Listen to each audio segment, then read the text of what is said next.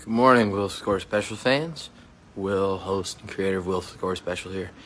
And I'm at my workplace, ESPN 1000, right here. And they just broke some news as I was on my train ride in, so I need to break it to you as quick as possible. The Chicago White Sox fans are going to be very happy going into this week as starting tomorrow, Tony La Russa will no longer be managing the Chicago White Sox. He came for a second stint with the team uh, to help them the postseason, and he helped us into the playoffs twice. Uh, once um, last year, and it was a first round exit. So, um, two year stint with the White Sox in a pandemic year.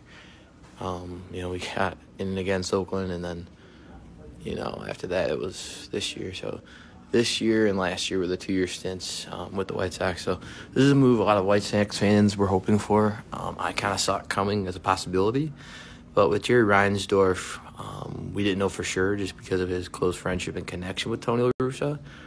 We didn't know he if he was going to retire or move into a front office role. So this is a really big deal for the White Sox.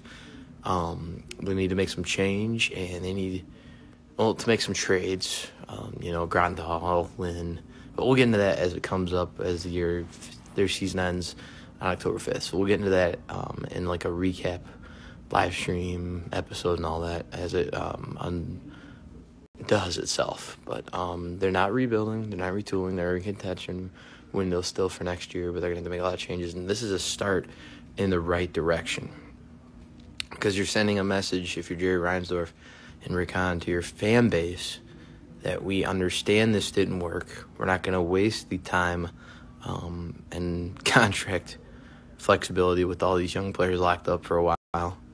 Um, we're not going to waste that. We're going to find something better, but they need to let Rick Hahn, if they get a new manager, which they will be, don't let it be Miguel Cairo. That would be a dumb move. But you need to let Rick Hahn choose his manager this time. Um, that's what a general manager is supposed to do. So I think that's really what they need to do. Um, I'm going to get a blog post out by later tonight on this news uh, or tomorrow morning um, as it's breaking. So uh, we'll keep you posted on all things White Sox. Tony La Russa will be announcing his retirement in a press conference tomorrow. Um, just reported by Bob Nightingale, um, who actually reported that Tony was getting interviewed in the first place. So, really good news for White Sox fans. I know you got Bears football today, but uh, celebrate this exciting news if you're a White Sox fan wanting change um, after this miserable season. So, that's a start in the right direction. When the fourth quarter buzzer sounds, you turn to us for your fifth quarter sports talk. Um, owner, host, and creator of Will Score Special, Will Farrell, saying so long from Chicago. Tony Russa is going to be retiring tomorrow from the Chicago White Sox. You heard it here first.